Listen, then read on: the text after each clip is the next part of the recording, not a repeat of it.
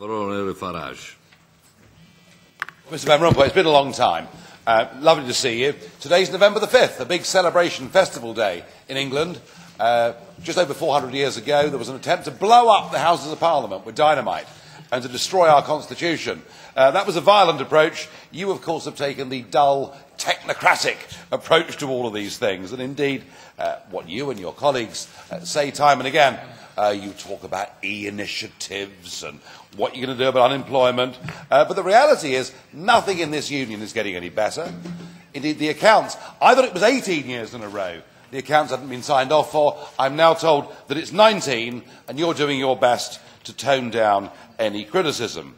Uh, whatever growth figures uh, you may have, they're pretty anemic, and youth unemployment in the Mediterranean is 50% plus in several states.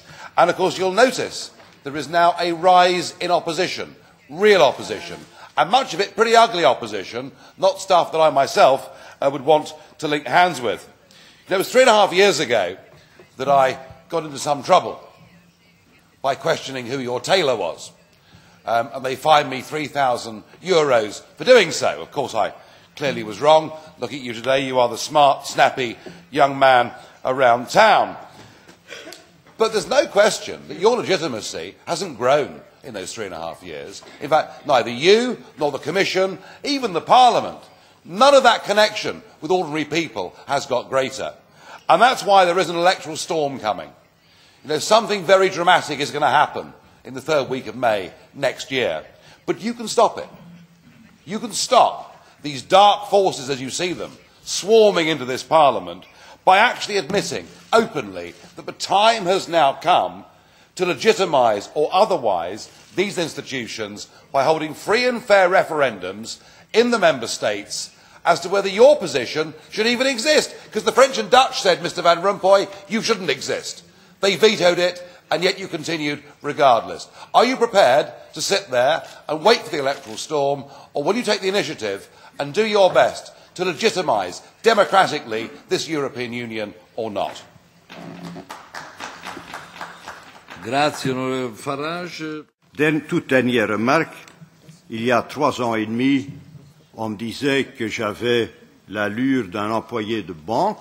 Maintenant, à moi seul, je peux arrêter une tempête électorale. Voilà, c'est une évolution invraisemblable qu'un homme puisse euh, avoir la, la capacité d'arrêter de, une soi-disant tempête électorale. Comme évolution, ça peut compter. Si ce ne venait pas de vous, Monsieur Farage, je m'en réjouirais mais puisque ça vient de vous, ça ne m'intéresse pas. Merci beaucoup.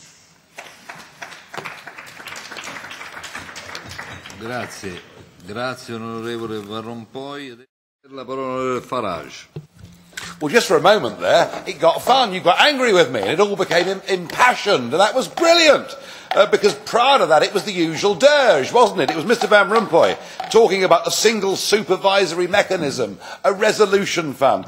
What real people are talking about is the lack of jobs, the insanity of, in our case, opening the doors next year to the whole of Romania and Bulgaria.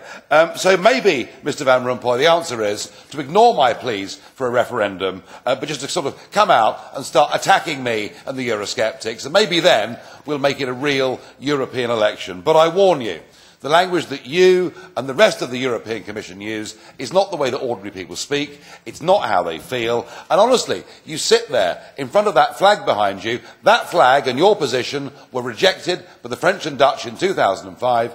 You've carried on regardless. You have no legitimacy. Let's fight it out on the battleground next May. Grazie onorevole Farage.